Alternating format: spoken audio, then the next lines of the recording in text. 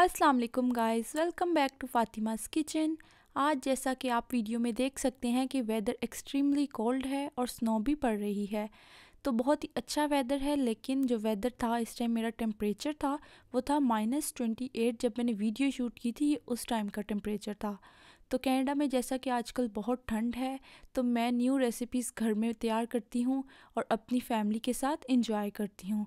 तो इसी तरह आप भी ये विंटर अपनी फ्रेंड्स और फैमिली के साथ डिफरेंट रेसिपीज़ बनाकर इंजॉय कीजिए और मुझे बताइए कि आपको मेरी रेसिपीज़ कैसी लगती हैं। साथ ही साथ मेरे यूट्यूब चैनल को भी ज़रूर सब्सक्राइब कीजिए और बेल आइकन को भी दबाइए ताकि मेरी हर न्यू वीडियो सबसे पहले आप तक पहुँचे।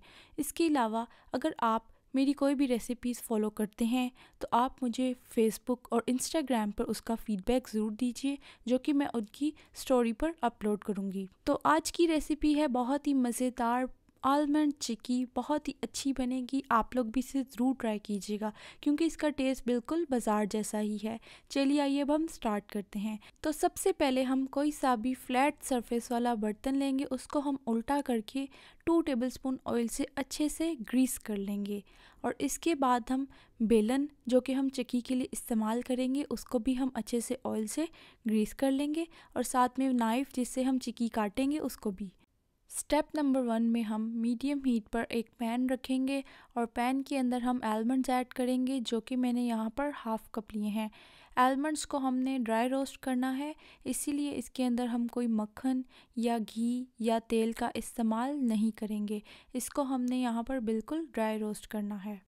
हीट आपने बहुत तेज़ नहीं करनी। अगर आप तेज़ हीट पर करेंगे इनको रोस्ट तो ये जल जाएँगे या इनमें करवाहट आ जाएगी और इनका कलर भी ब्लैकिश हो जाएगा। तो इस चीज़ का आपने बहुत ज़्यादा ध्यान रखना है। चम्मच आप कंटिन्यूसली स्टीर करते रहें। जैसे ही इनकी ये खूबसूरत सी खुशबू आ जाए, साथ में इनका कलर भी थोड़ा सा चेंज हो जाएगा। बस तब तक हम इनको रोस्ट करेंगे और ऐसा करने में तकरीबन फ़ाइव टू सेवन मिनट्स हमें लग जाएँगे। आलमंड्स हमारे यहाँ पर ड्राई रोस्ट हो चुके हैं। अब हम इनको किसी बॉल में निकाल कर साइड पर रख देंगे। इसके बाद सेम पैन में ही हम एक कप शुगर ऐड करेंगे। शुगर मैंने यहाँ बारीक पीसी हुई ली है और इसको हम कैरमलाइज्ड करेंगे, यानी कि हम इसको यहाँ पर मेल्ट करेंगे अच्छे से। जैसे ही आप देखें कि आपकी शुगर मेल्ट होने लग गई है तो आप इसमें चम्मच हिलाएँ ताकि एक जगह से शुगर ज़्यादा मेल्ट होकर जलने ना लग जाए। अगर ऐसा होगा तो आपकी जो शुगर है वो मेल्ट होकर ज़्यादा कैरमलाइज हो जाएगी, इसका कलर ब्लैकिश हो जाएगा और इसमें बर्निंग की स्मेल आ जाएगी। इसीलिए मैं आपको हमेशा कहती हूँ कि मेरी वीडियोस एंड तक वॉच किया करें ताकि इसमें मैं आपको जो बातें बताती हूँ वो आप मिस ना करें और आपकी रेसिपीज़ ख़राब ना हों। शुगर को आपने सिर्फ़ इतना मेल्ट करना है कि इसके अंदर मौजूद तमाम गुठलियाँ कैरमल बन जाए और वो बिल्कुल स्मूथ हो, यानी कि उसमें कोई भी लंप मौजूद ना हो तो इसके लिए आपने इसको चम्मच से हिलाते रहना है और इसकी जो गुठलियाँ हैं वो तमाम अच्छे से मिक्स करनी है। तो कैरमल जब हमारा तैयार हो जाएगा तो उसकी शक्ल कुछ इस तरह से होगी। उसके अंदर हम पहले से रोस्ट किए हुए बादाम ऐड कर देंगे और बादामों को अब हमने इसी कैरमल के साथ अच्छे से मिक्स करना है। तो मैं यहाँ पर अपना फ्लेम बंद नहीं करूँगी। फ्लेम को हमने यहाँ पर लो कर देना है ताकि जो कैरमल है वो बादामों के साथ चिपक ना जाए। अगर आप फ्लेम बंद कर देंगे तो तमाम चीज़ें यहीं पर ठंडी होकर चिपक जाएँगी। इसीलिए आपने इस चीज़ का बहुत ज़्यादा ध्यान रखना है कि फ्लेम जो है वो आपका लो हो। इसको हम अच्छी तरह से मिक्स कर लेंगे ताकि दोनों चीज़ें अच्छी तरह से मिक्स हो जाएँ और इनकी एक मज़ेदार सी फ्लेवरिंग बन जाए। जैसे ही चीज़ें मिक्स होंगी, पैन से उतार के इसको ऑलरेडी ग्रीस की हुई बेकिंग ट्रे के ऊपर मैं डाल दूँगी। आपने ये काम बहुत ही क्विकली करना है। अगर इस काम में आप थोड़ी सी भी देर करेंगे तो आपकी जो चिक्की है, वो जमने लग जाएगी और आपका जो बादाम है और जो कैरमल है, आपस में जुड़ जाएगा। यानी कि उसकी जो शेप है और उसकी जो फॉर्म है, वो सही नहीं आएगी। इसलिए आपने ये काम बहुत ज़्यादा क्विकली करना है। तो पैन के ऊपर चिक्की डालने के बाद इसको स्पैचुला की मदद से इवन कर लेंगे और इसके बाद इसको रोलिंग पिन की मदद से सारा इक्वल कर लेंगे।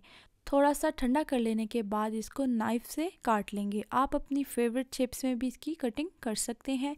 मैंने यहाँ पे बार्स ली है। अगर आप बच्चों के लिए बना रहे हैं तो उनकी मनपसंद फेवरेट जो उनकी है शेप्स उसमें इनकी कटिंग कीजिए ताकि वो इसको शौक से खाएँ। तो आलमंड चिक्की हमारी तैयार हो चुकी है। बहुत ही मज़ेदार लग रही है। बहुत लजीज खुशबू भी आ रही है। काश कि मैं अपने सब व्यूवर्स को ये टेस्ट भी करवा सकती कि वो देखते ये कितनी क्रिस्पी है, कितनी मज़ेदार है, लेकिन अनफॉर्चुनेटली ऐसा मुमकिन नहीं है। तो आप लोग इसको ज़रूर ट्राई कीजिएगा। अपने बच्चों को बना के दें, अपनी फैमिली के लिए बनाइए, क्योंकि सर्दियों में ऐसी चीज़ें खाने का बहुत मज़ा आता है। इसके अलावा मैंने पीनट चिक्की भी तैयार की थी, जिसका लिंक आपको ऊपर आई बटन दबाकर मिल जाएगा। तो आप लोग इस रेसिपी को भी ज़रूर वॉच कीजिएगा, बहुत ही मज़ेदार है, आप लोग इसको ज़रूर ट्राई कीजिएगा। और इन मैं आपके साथ हमेशा की तरह न्यू वीडियोस लेकर आती रहूँगी। आप मेरी वीडियो ज़रूर वॉच किया करें और अपने फ्रेंड्स और फैमिली में भी शेयर किया करें। मुझे दुआओं में याद रखें। इन नेक्स्ट वीडियो में फिर मुलाकात होगी। तब तक के लिए अल्लाह हाफिज़।